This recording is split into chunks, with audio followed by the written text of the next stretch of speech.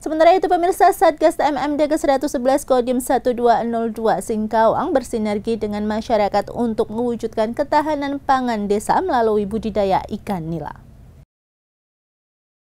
Komsos atau komunikasi sosial yang dilakukan Satgas TMMD ke-111 sebagai upaya untuk selalu mendekatkan diri pada masyarakat. Tetap menunggal bersama rakyat anggota Satgas TMMD ke-111, jajaran Kodim 1202 Singkawang melibatkan tugas tambahan pokok dalam ketahanan pangan budidaya ikan nila dan patin milik Aloysius, Kepala Desa Setangau Jaya. Hal ini agar bisa menjadi contoh pada masyarakat, khususnya Desa Setangau Jaya. Di tempat lain, Danim 1207 Singkawang menyampaikan bahwa dengan adanya silaturahmi yang baik dan saling berbagi ilmu, tim Satgas TMMD mampu menjadi contoh dan teladan yang baik untuk melaksanakan pengembangan desa. Dengan demikian, rutinitas Satgas TMMD melalui Komsos pada warga binaan merupakan wadah yang tepat karena dapat bersosialisasi secara langsung dengan masyarakat. Selamat pagi, Salam sejahtera bagi kita semua. Adil Katarina ke surga Pasengat ke Ajibata. Saya atas nama Kepala Desa Sentango Jaya.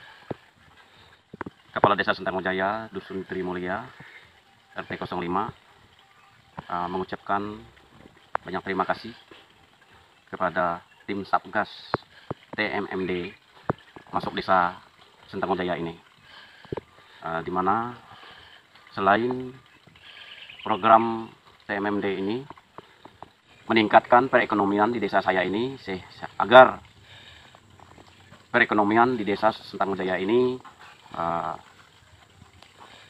berkembang ataupun berjalan seperti mana yang diharapkan oleh program Satgas TNI ini.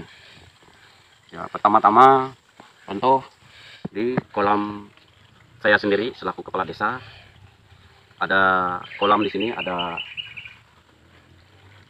terbagi empat petak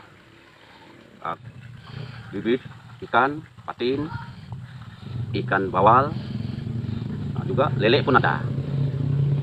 Nah, tujuan saya membuat kolam ini adalah saya memberi contoh ataupun memotivasi masyarakat agar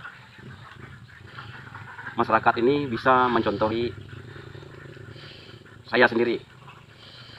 Bagaimana tujuan saya itu? Biar masyarakat ini ya, giat untuk membudidayakan ikan sehingga bisa membantu ketahanan pangan ya harapan saya dengan tujuan uh, kunjungan daripada tim Satgas TMMD ini uh, memberi motivasi tentang budidaya ikan ini. Tim Liputan melaporkan.